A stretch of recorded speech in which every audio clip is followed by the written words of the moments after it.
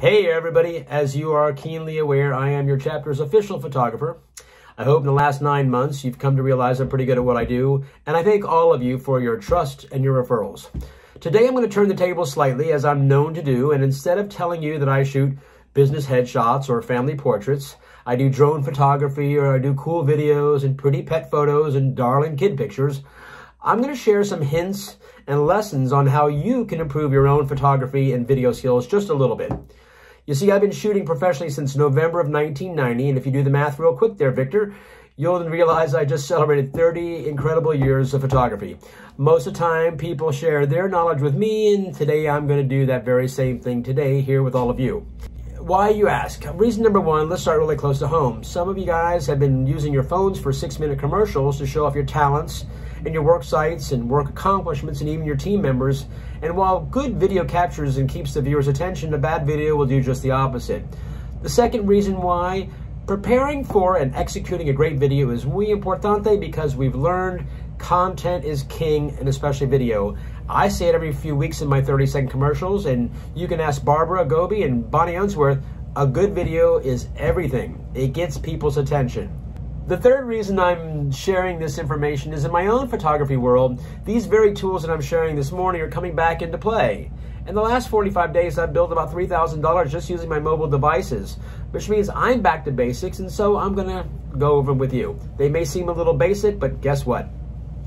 The first one, wipe the lens clean. Seriously, uh, use a soft cloth, your shirt tail, a sock, it doesn't matter, just give it a quick wipe.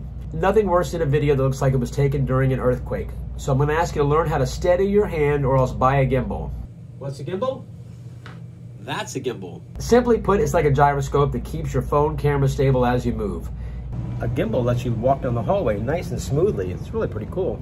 If you're a profession that ever uses a video camera to interact with a client or teammate, spend the $150 and step up your game. Are you a blogger or a vlogger? You should already have one.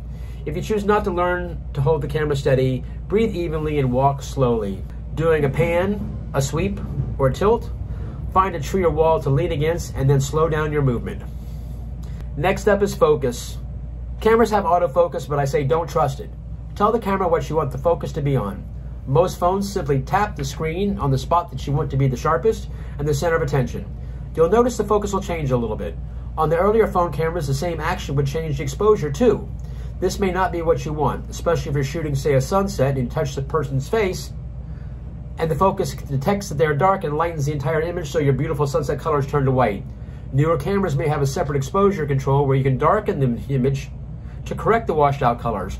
More than likely, it will be best to move it a bit closer to your subject, turn on the flash, and set the exposure to the background colors and take your image, just like this. The fourth component of a successful photo or video, and, and let's be clear here, all of these will help your regular everyday photo taking, whether it's your puppy, the kids, or that beautiful flower that finally bloomed overnight. These are useful whether you're making money or not. So back to the next aspect, framing. And I'm not talking about framing a photo and putting it up on the wall. I'm speaking of how you frame the image within the confines of your camera's viewer or screen. The biggest mistake I see is when folks take a group photo and all the heads are lined up across the center of the image with two feet of nothing above their heads. Tilt the camera down, frame the people with just a little space all around the top and sides. Crop the subject because that's what we're there to see, not the ceiling. And speaking of cropping, stop zooming in with your camera's digital zoom.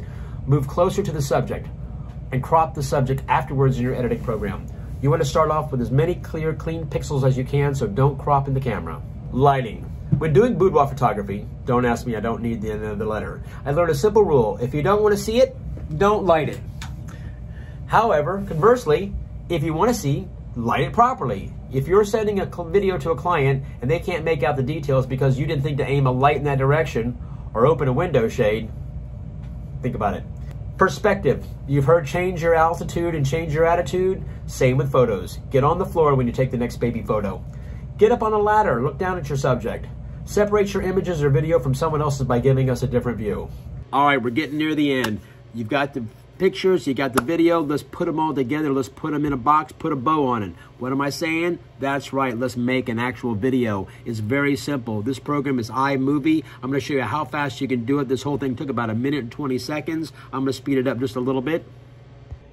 So let me tell you what I've done. I put four photographs in, drug them into the program. I turn around, I slid a couple of little sliders, fade in, fade out, pick the theme, pick some music. It automatically starts playing. It's a really cool, easy program. Anybody can do it. But what the nice thing about it is, it steps up your game. It steps it up in front of your clients or your friends and even your family. It lets people know that you're put a little more effort in and you think they're worth a little bit more at the end of the day. Uh, hopefully this has been helpful. And at the end of this program, if you have any questions for me or thoughts or anything, let me know. Thank you very much. I'm proud to be your BNI professional photographer.